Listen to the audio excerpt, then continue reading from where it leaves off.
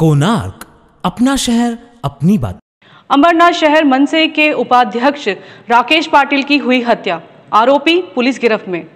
अंबरनाथ के मनसे शहर उपाध्यक्ष की हत्या हत्यारे पुलिस के गिरफ्त में। बुधवार को अंबरनाथ के मनसे कार्यालय के पास शहर उपाध्यक्ष राकेश पाटिल को अज्ञात लोगों ने धारदार हथियार से बुरी तरह से जख्मी कर दिया। यह घटना बुधवार के शाम सात बजे के आसपास रिलायंस रेसिडेंसी के आर मार्ट पर हुई। उन्हें तत्काल उल्लासनगर के एक प्राइवेट अस्पताल में भर्ती किया गया, लेकिन हालात गंभीर होने के कारण उन्हें कल्याण के फोर्टिस अस्पताल में भर्ती किया गया। डॉक्टरों ने वहाँ पर उन्हें मृत घोषित कर दिया। दूसरी तरफ़ पुलिस ने सक्रियता दिखाते हुए चार आरोपियों को इस मामले में गिरफ़्तार किया है। नक्कीच आमची लोक, आमचा राकेश मा मागचे अनेक दिवस या ब भागामध्ये उत्तम काम करत होता लोकांच्या समस्या सोडवत होता.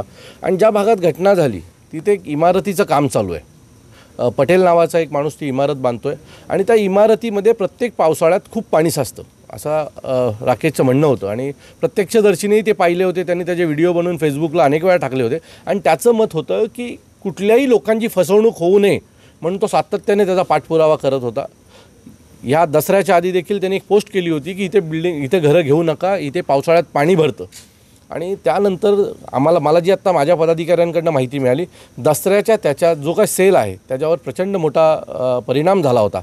आणि त्याचाच राग ठेवून काही लोकांना तयार करून ही हत्या करण्यात आलेली आहे असा आमचा आरोप आहे.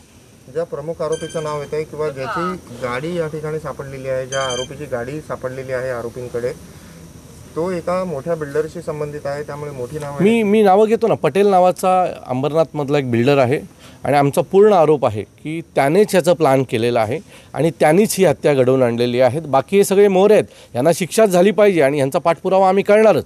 यांना काय आम्ही सोडणार नाही. पण मुख्य आरोपी देखील यात भेटला पाहिजे ज्यांनी ह्यांना सगळ्यांना हे सगळं करण्यास प्रवृत्त केलं होतं. कोणार्क? अपना शहर अपनी बात. ताज़ा खबरों के लिए कोणार्क न्यूज़ को सब्सक्राइब करें। और बेल आइकन ज़रूर दबाएं।